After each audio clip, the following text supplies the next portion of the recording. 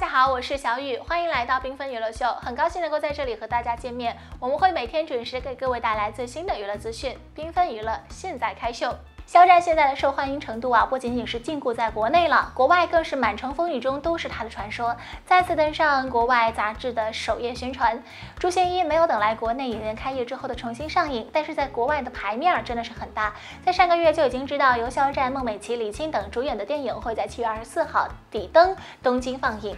前两天突然宣布延迟放映了，但是加长了放映的时间，延迟到八月六号止。受疫情的影响，日本电影院复工之后，每天控制在一到两。场唯独出海的《诛仙一》延长又加场次，现在新增到六个主要的大城市上映，可见这票房啊真的很招人嫉妒了。难怪就会有人去酸这样的一部服道化呀、制作呃物美价廉的片子，不是影视圈的人都羡慕嫉妒恨呐。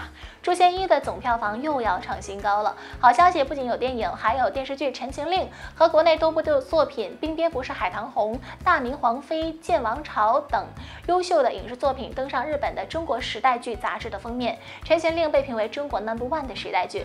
时代剧是日本对古装电视剧的称呼，收录的不仅有本国的古装类内容，还有国外的影视作品。杂志收录的都是有国宝级演员的古装作品，地位还是很高的。而在七月二十八号，有《工人日报》发布的二零一九中国时代影响力电影电视剧榜单出炉，《陈情令》排名第八名，再次认可了这一部古装电视剧内容的肯定。为了抵制肖战，这部剧虽然在各项影视作品的大奖中没有名字。金鹰奖、白玉兰奖等都为上榜，但是他的成绩是有目共睹的。喜欢的人自然喜欢，不喜欢的人你怎么安利都没有用的。